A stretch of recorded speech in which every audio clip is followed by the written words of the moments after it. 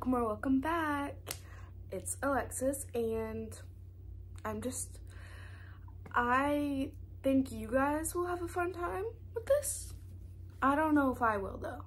I don't know because today we're counting all the books on my book cart and my physical TBR. I recently uh, cleaned off an old cart that my mom had and uh, put my books on it for a TBR cart because I really like seeing like all of them together and then I have more on the back. I have a few things that I put in it that I want to just give you guys a tour of it and then we're going to count all the books I have on my physical TBR. Today, to drink, we have a matcha and just look how beautiful she is. So good. And should I be drinking water? Yes. Am I? No. Like the amount of drinks that I drink that are not water is concerning. But it's it's it's it's okay. Matcha is amazing and matcha is worth it. I don't care. Enough with that. I'm gonna show you everything that I have today and then count it. Something about matcha just like hits. And I put brown sugar in it. Oh, so good. Okay, so we're gonna start with up here and then we're just gonna move our way down and then I'll flip the cart around so I can show you the other stuff. So we're on the floor, just don't mind me, but had, this is the only way I could show you guys the cart.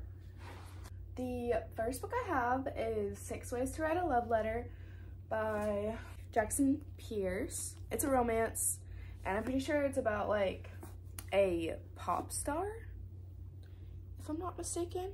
Next, Five Feet Apart by Rachel Lippincott with more authors. We got, I'm not even pronouncing, but this has been on my physical TBR forever. And I've seen the movie, but that was a while ago, so I will read the book at some point, but who knows. And this is technically not on my physical TBR. I've already read it, but it's on my TBR for the month, so I put it on here. The Summer I Turned Pretty by Jenny Han. This is what I want to reread, and I want to reread it this summer because it just gives great summer vibes.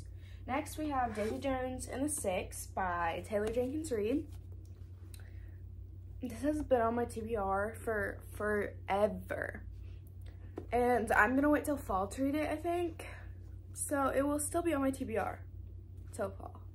We got four so far, four books. Next I have Pride and Puppies by Lizzie Shane. I honestly don't know what this book is about.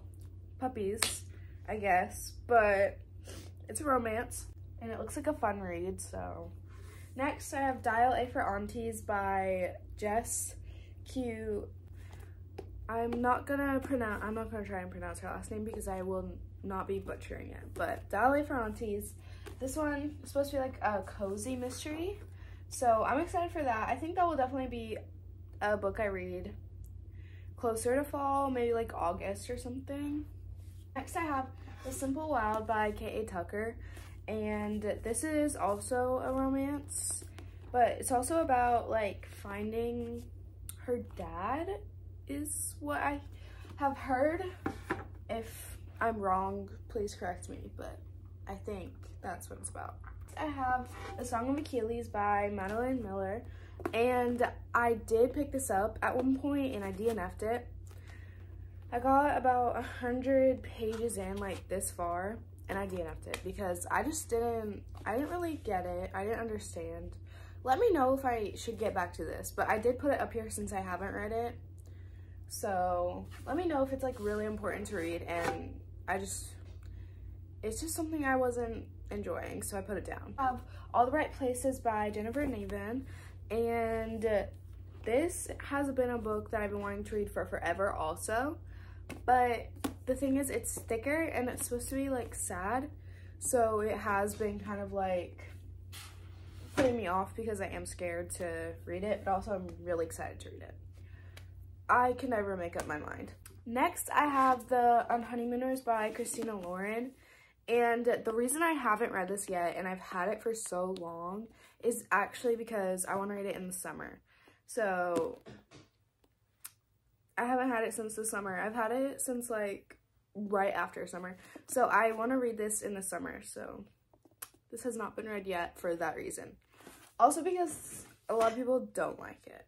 Next, I have You Deserve Each Other by Sarah Hogle. And I actually started this book. I got about 60 pages in through the book.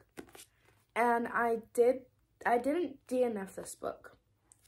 I mean, I didn't finish it, but my terms, I put it down. I wasn't feeling romance at the time, so I picked up a mystery and it was just so much better. I don't know what was going on, but I was in kind of a romance slump, I think. Because I didn't read romance for a little bit after that. I was more into thriller. So I will be picking this up when I'm more in like a romance mood. Because I did enjoy the uh, first part of the book that I read, but I just, I wasn't feeling it. But it was, it seemed like I will like it whenever I pick it back up. Next is another Christina Lauren book, The Soulmate Equation. And I want to read this one pretty soon because the True Love Experiment is out and I want to get that when it's in paperback.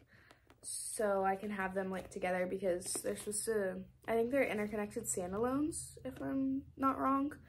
This one just scares me because I don't know, I don't really have an opinion on Christina Lauren. I've only read Love in Other Words by them, which I absolutely adored. I love that book so much. It's like an all-time favorite. But a lot of people said their other books aren't the best. So it's kind of scaring me a bit. Next, I have, uh, this is actually the last one I have on the front row. This is Funny You Should Ask by Elissa Sussman. And uh, this one, I am very, very excited to read. Just like, look how cute the cover is. Look how adorable that is. And the, not the next one, I don't know if it's the next one, but it's another one by this author. is coming out soon. And I want to read this so I can get the other one. Because the other cover is super cute. Like, I'll show you. Like, look how cute that cover is. I just love the style of cover. But this one's also a romance. And this one's about like a famous person. I think people describe the main character as like Chris Evans, maybe? I could be thinking of a completely different book. So correct me if I'm wrong. Next, I have The Shelf. And the reason why this whole thing is like not full full is because, I mean, I don't have a bunch of books in my physical TBR. But I do still have plenty that I need to read. This is my thriller section it's actually very sad. Like, anyway, we have three books from there. Lisa Jewell, this is The Family Upstairs, and I just read Then She Was Gone. I'm not giving you thoughts on that. I read it. You will see my thoughts for my wrap up. But I am excited to read this because I did enjoy it. So I'm telling you, you have to wait. But I liked it and I liked her writing, so I will end up reading this soon. But I uh, am not in a thriller mood right now, so don't want to ruin it. Next I have The Lake by Natasha Preston, and I am excited to read this one. I it just I don't know what it's about, but I am excited to read it. The only thing that scares me going into her books are that people say they're really good up until the last page.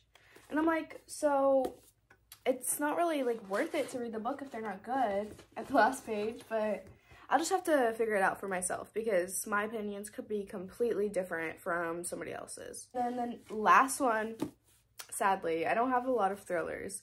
On the thriller section I have, though, is Truly Devious by Maureen Johnson. And I'm actually very, very excited to read this one. I don't know why I haven't picked it up yet, but I will next time I'm in a, like, a mystery mood. YA mystery, something quick and fun. I will read this, I promise. It will be read soon. But I'm really excited to pick this one up as I feel like it's to be a good time. Okay, this is, like, kind of random. This is more like, this is my fiction thing I kind of have. Or like more, I put my Book of the Month books here because these are not all like specific genres. Like this one's literary fiction. This one's not fully romance, I don't think. And then this one is fiction also. So there's not really a place. And then these two, I think they're also like fiction. And I just didn't know where else to put them. So that's why these books are here. First book I have is Pride and Premeditation by Tirzah Price. I don't know. But this cover is really cute. Basically, this is a Jane Austen murder mystery. And it's a, like a spinoff, something like that. I don't know what the word for it is, but basically. It's going to be hard getting these out, so I will not be pulling these ones out. But this is Sense and Second Degree Murder, which is also another Jane Austen murder mystery. It's by the same author. And I really love these covers. I don't know, I haven't picked it up yet, but actually I do know why. I just haven't, like, I just haven't. But I am excited to get to those because I haven't really heard anybody talk about them. And the last three books on this shelf are Wayward by Amelia Hart, romantic comedy by Curtis Sittenfeld, and then Tomorrow, Tomorrow, Tomorrow by Gabrielle Zevin. And I need to read these. These are my Book of the Month books. And I haven't read them. So, there's only that says about me. But, like, I will read them at some point. Wayward, kind of scared to read. This one, kind of scared to read. This one, kind of scared to read. Enough said. Next is like the fantasy shelf. Here, me down so you can see a little better. Okay, this is all the books for fantasy. And some of them are not like technically like fantasy, like you would be like ACOTAR, you know? I don't have those books yet. I will. I promise you, okay? Long Live the Pumpkin Queen by Shea uh, Ernshaw. And this is more of a fall read. But this is like Sally's. The Nightmare Didn't End After Christmas. So, curious to see what that one's even about. But I love Sally, so... And I love Tim Burton, all things Tim Burton. So, very excited to read that. But that's a Halloween read. Like, I'm very season reader. Like, I'm a mood season reader. So, I will not be reading that to Halloween. And the next one is also a Halloween read, fall read. The Very Secret Society of Irregular Witches. This book is obviously about witches, very fall, fun, fantasy world. I am excited to get to that. It seems like a quick, easy read. I don't know if that one's romance though, so I don't know if it's fantasy romance or like just whatever. I'm just gonna let them fall. Anyway, I have the Minuscule Mansion of Myra Malone, and this is by Audrey Burges. And I am excited to read this one too. I am not sure what this is about. This might be like a mystery fantasy, but it goes with my fantasy books. So I put it on that shelf. Next, I have uh, the Kingdom of the Cursed. And this is the second book of Kingdom of the Wicked. And I enjoyed Kingdom of the Wicked. I was kind of in a slump, which was not fun. I hate slumps when I read it. So it wasn't amazing, but I did give it four stars. So I wanted to continue with the series because Wrath, like, Wrath. Anyway, this one's a thicker one though. This one's like 400, I think. Next book I have is Shadow and Bone by Leigh Bardugo.